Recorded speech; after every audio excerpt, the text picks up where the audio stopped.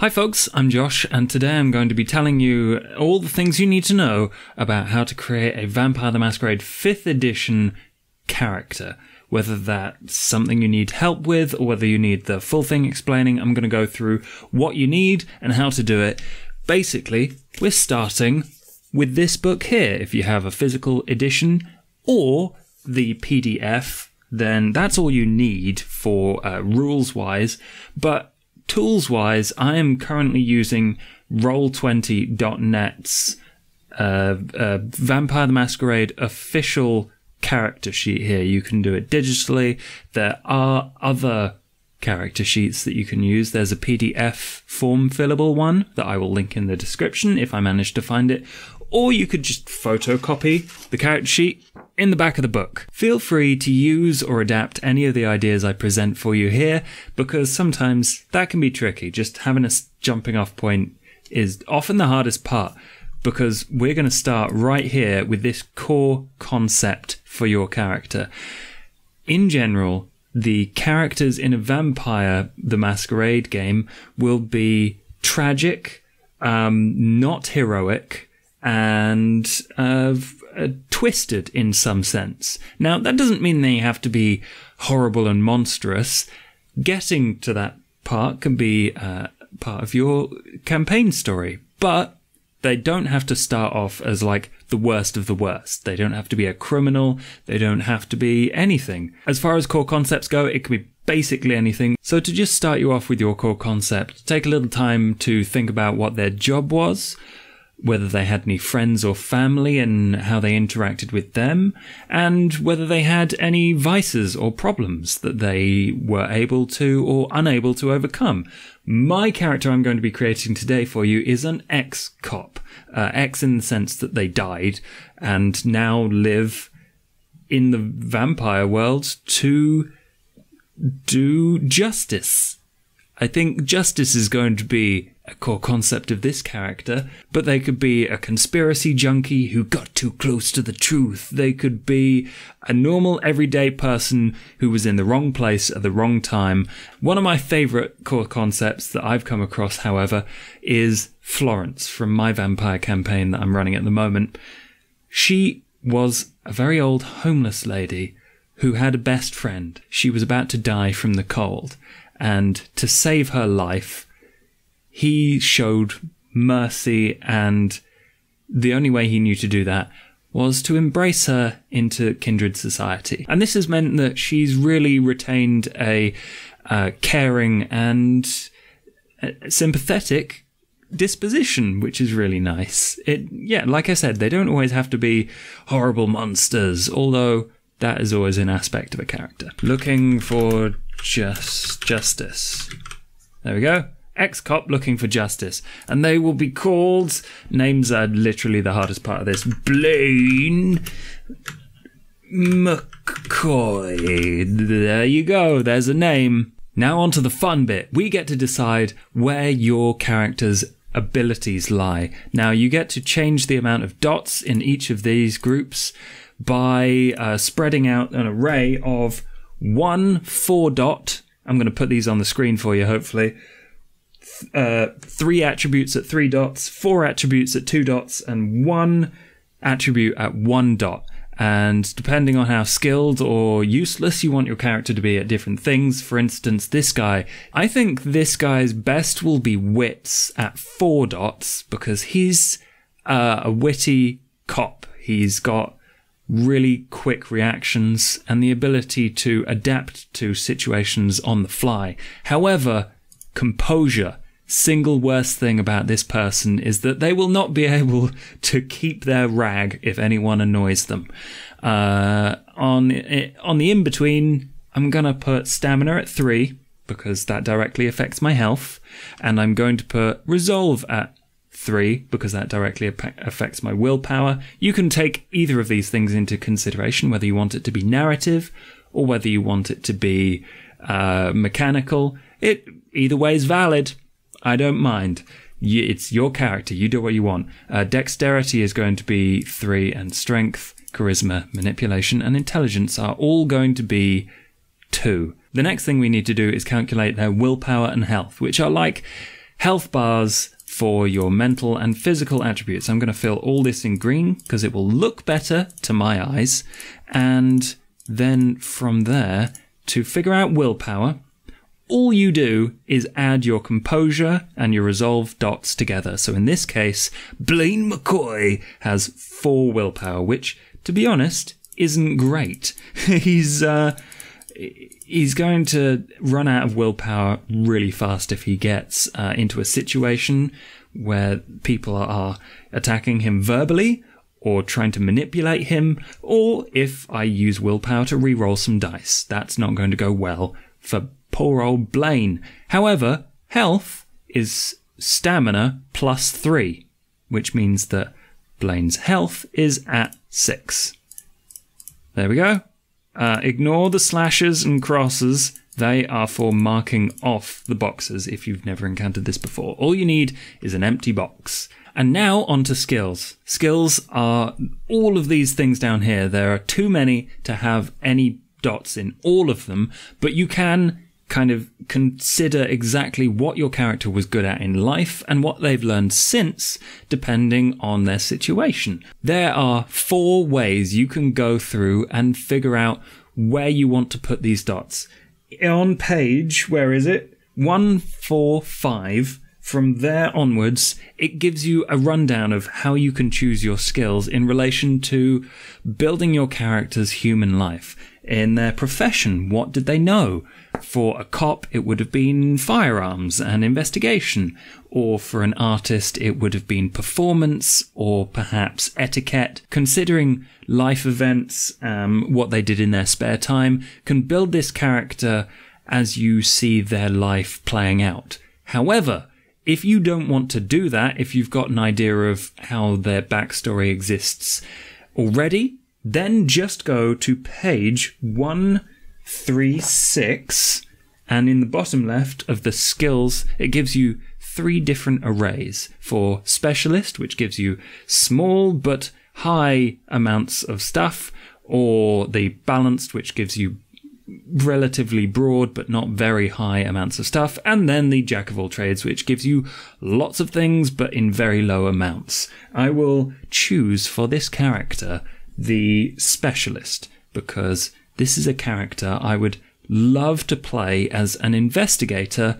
for paranormal stuff. That sounds like a good time. So, in the specialist array, I get to choose one skill at four, three skills at three, three skills at two, and three skills at one, which means that investigation four. This dude is great at finding stuff.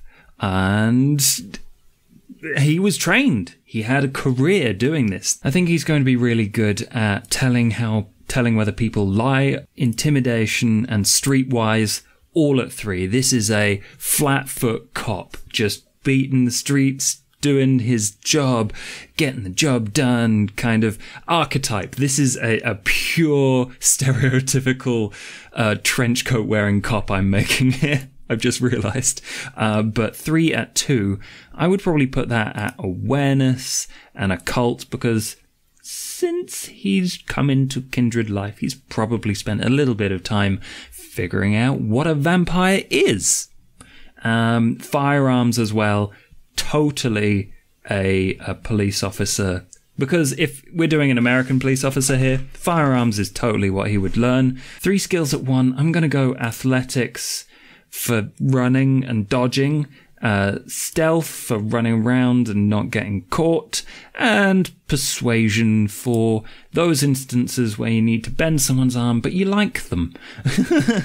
I'm thinking a character from The Wire here, very good at his job, but has probably been betrayed by the police department in some way. Now, before we move on from skills, you need to pick a specialty, and what that is, is a specific circumstance within a skill that gives your character a plus one dice in a specific situation. Say you want your specialty to be in stealth. You have the option of getting a plus one in crowds if you're hiding in a crowd, or if you're following someone, or if you are good at hiding in forests. So I think for this character, I really want to do a little bit of min maxing. Sometimes that's frowned upon, sometimes it's not. But investigation. I just realized you couldn't see my cursor. Anyway, investigation is the one specialty that we get. Investigation and because he's a police officer, I'm going to say it's just crime. Investigating crime, whether that's a crime scene or whether you're witnessing someone running away with a person's purse. I don't know. You get to investigate the crime with a plus one in that situation. And it needs to be broad enough that you can apply it to more than one incredibly niche type of role, but not so broad that you always get the plus one. You need to kind of make sure that your character is balanced and fair. For instance, you can't just go, I've got the brawl specialty of judo, because if you narrate that you do a judo mo- move on someone, that will always get you the plus one, and it doesn't kind of specify a situation. Uh, it it needs to be specific. However, one thing to remember is that I couldn't take a specialty in Brawl at all because I don't have any points in it. So make sure that whatever specialty you have has at least one dot in it. Something I'm also not doing for this character is putting in the free specialties you get. If you have chosen academics, craft, performance, or science, you get to choose a specialty for those as well as the free one for any skill. Now onto the fun bit, disciplines. So as yet, I have not made you think about what clan your character needs to be. And this is the point where you definitely need to have decided. So read up on each one, what their themes are, what their abilities are, and whether you want to play against or to those types, and then put it in here. This person, I think, will. It seems like this person is a Brujah to me because of their need for justice. They were embraced because they had the skills and the determination to go and find justice, but that makes them very angry. So, on your sheet, we need to find their clan bane. And for clan bane uh, Brujah, it's basically angry. Uh, I believe it makes it more difficult to win a frenzy test.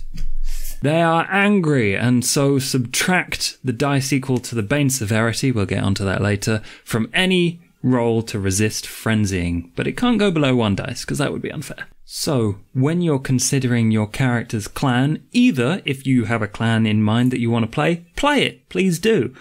But um, another fun way to think about it is that they were human and then a vampire either picked them or circumstances made it so that they became a vampire for very specific reasons or their sets of skills or their connections within society. And that then turned them into the vampire clan that they have. Bear in mind, if you choose Thin Blood, you get some slightly different character creation, um, I want to say options, because as a Thin Blood, you don't get innate disciplines, whereas Brujah get potence. I'm just going to write these in uh, so I remember which ones they are. Presence and what was the other one? Celerity. Lots of fun physical stuff here. And a little bit of social things with the presence. So, Thin Bloods, you don't get any disciplines at all until maybe, possibly later on. We'll get to you in a minute. All we have to do is decide which of these powers gets two dots and which of these powers gets one dot. I think Celerity 1 will be a lot of fun because I like dodging bullets. And Presence 2 gives me lots of social options, especially as this character isn't the strongest. So I don't think that supernatural strength would develop within him, although it could turn up later as kind of a crutch or something. I'm not sure. And another special case is that if you're caitiff, you get to select any two disciplines. It can be literally any and you get to pick one dot for one and two dots for another. Good luck. And now my single favorite addition to this game, the Predator type. This is how you get your blood, whether it is by asking someone for it politely, or stealing it from vampires.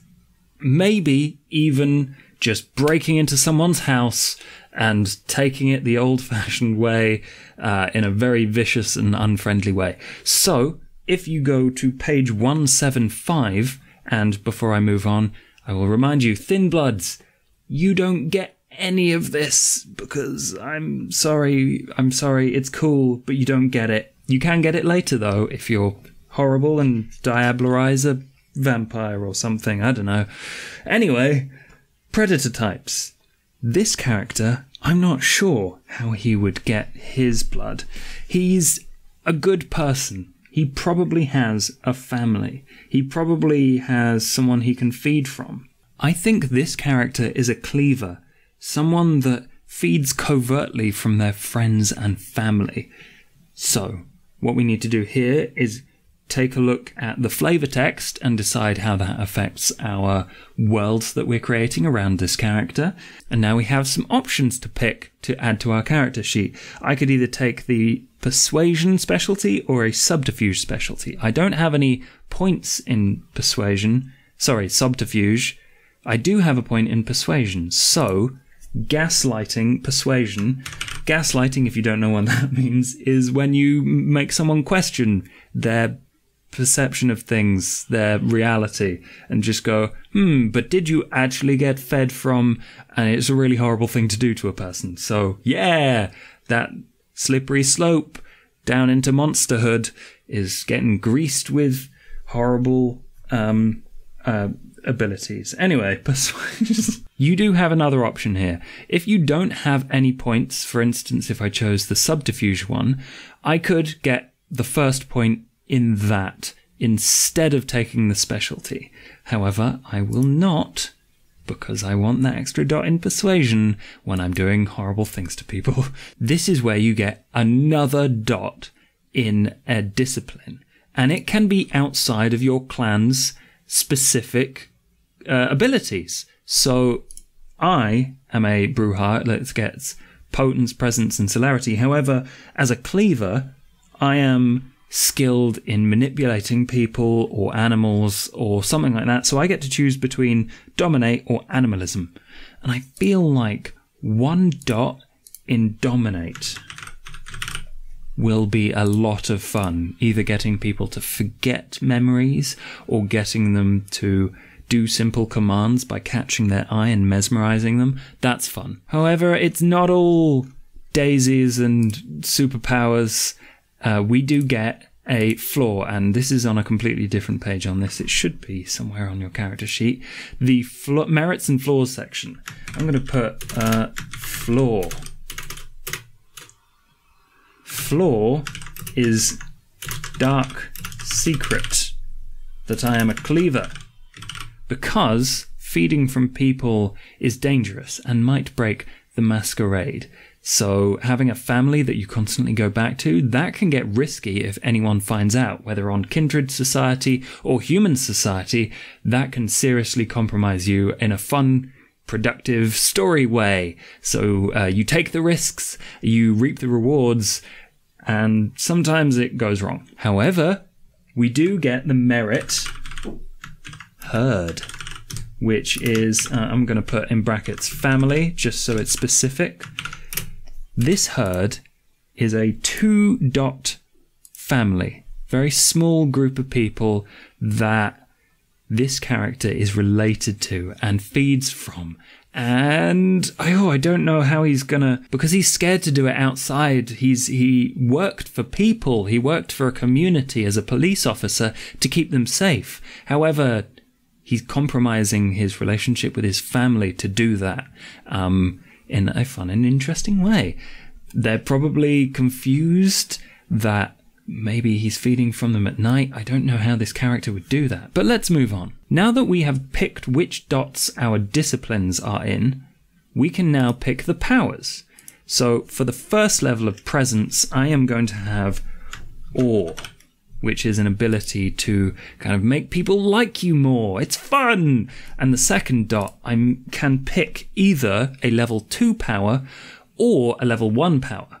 You can't have more powers than you have dots, But I could pick Daunt, which is the other level 1 power. At level 2, Presence lets you get the Lingering Kiss ability. Whenever you feed from someone, they like it if you choose to do that ability. and that can real uh, really get you in trouble or help you a lot. For celerity, I think rapid reflexes because dodging bullets is really useful when you're a relatively uh, squishy and not too combative Brujah. That's good. That's one power. That's one dot and dominate. The ability to give commands to people, making people forget. Uh, is that what it's called? Forgetful Mind? I'm going to quickly look that up. No, Cloud Memory. Forgetful Mind is a different one. Cloud Memory. All I have to do is look someone in the eye and say forget, and the last five minutes disappear from their mind. It's not perfect. There is a gap in their memory, but everything in this game is a balancing act between usefulness and risk, which is always fun to play out in the story. I've just realized I've made a really nice person who is a beat cop and is really interested in solving crimes and justice. However, he has some really horrible abilities. So Gonna have to reckon with that particular dichotomy somewhere through the storyline if this ever if this person ever gets used. I'm very interested, by the way, to uh, see what co- character concepts and clans and stuff you're interested in building. So let me know about that in the comments.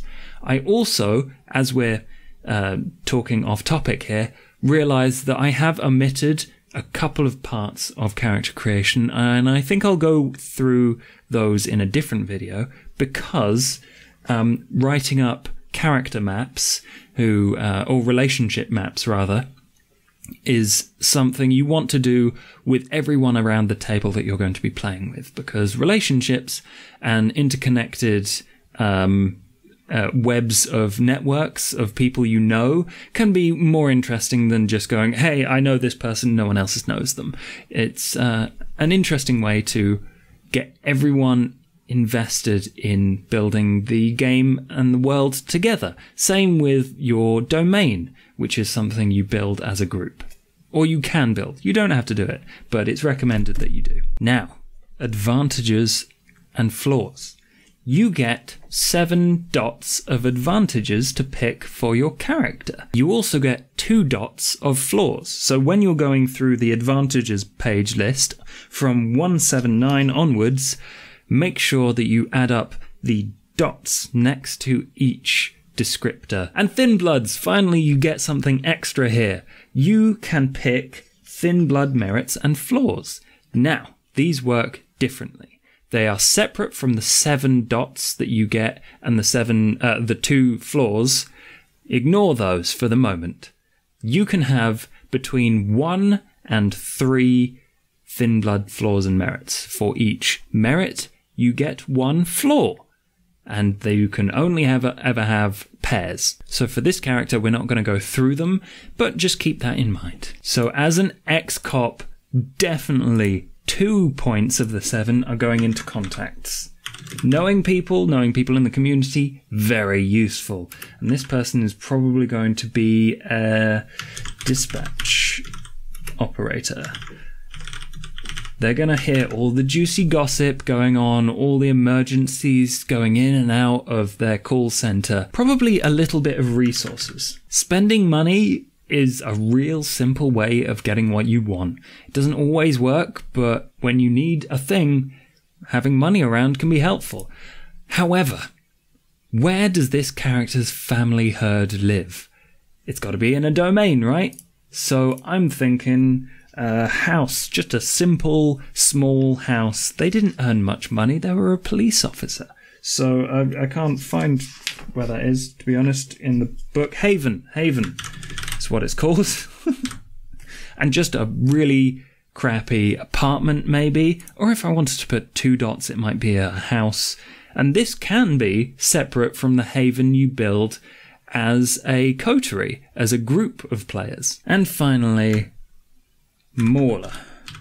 Now, Mawla is a kind of mentor, and I'm going to put my final two dots into that they are going to be, at that stage, someone relatively important in the vampire world. And I just realized my face was in the way. Sorry. That's the real useful stuff your character gets.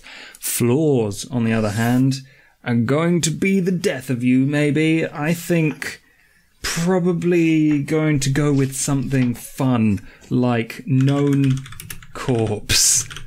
Everyone thinks this character is dead, apart from their family. That's going to be a real tricky situation to deal with when this dead person arrives back at home.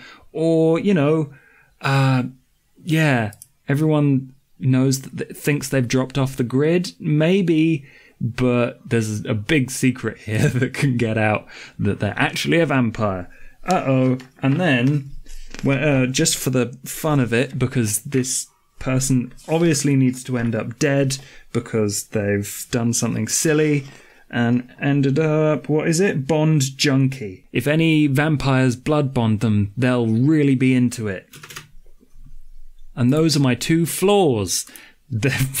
I've just screwed over my character, but that's how it always works. You don't want your life as a vampire, as a kindred undead person, to be easy, but conflict is where the story happens, so that's fun. Now, touchstones and convictions.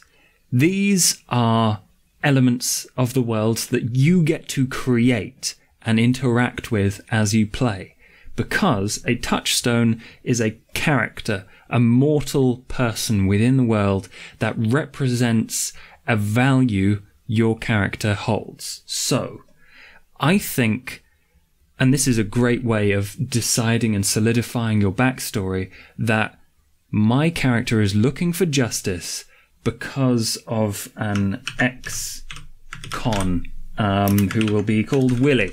Uh, and they were wrongly accused and I was working on this case, um, but I didn't manage to get the evidence. Something was tampered with. They were, um, they were basically set up for it and I was forestalled so I couldn't save them. And I'm looking for justice for them and probably for a few other people, but this is a real issue close to my character's heart. So they represent justice at any cost that's going to get my character into trouble. So the considerations with touchstones and convictions is that you can have a maximum of three of them, but no less than one. You have to create a character that links you to your humanity. If you're struggling with this, I suggest thinking up a I will always or I will never or a, a statement along those lines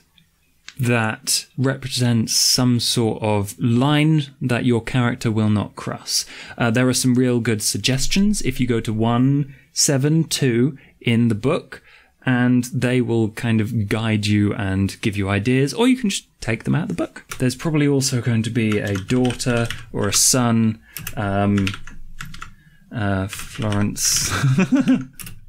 uh, Florence, who will probably have a represent never expose children to violence, which is something that I just stole out of the book. That connects him to the justice and to the family that he has to feed from. It's going to be a tricky situation. What you also have to think about when you're making touchstones and convictions is the fact that if anything bad happens to these people, your stains on your soul appear and that can affect your humanity rating. Chronicle tenants, just because there's a box here, I'll explain it, are something that you, your group, and your storyteller all decide together whether you want to take them out of the book, but this is something that you don't have to decide by yourself, so ignore it for the moment. The next bit, really, really simple. Make sure that your humanity is at 7.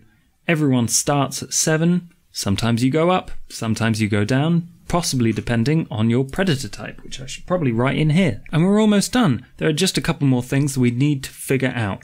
How old is your vampire? This is something your storyteller will tell you. You either get to be a, a, a, childer, a childer, a neonate, or an ancilli, which increases the amount of stuff you have to do. I won't go through that because it is fairly self explanatory. If you go to page 137 in the book, it will tell you how many ex- extra experience points you get, how many extra attributes you get. But basically, these are all things we've done already, apart from the experience spending. And there is a little uh, table on that page that tells you what things cost if you want to spend those experience points. But for the moment, we're going to assume that this character is a Childer, so that is Blood Potency 1, uh, Generation 13, which is probably something I should write here.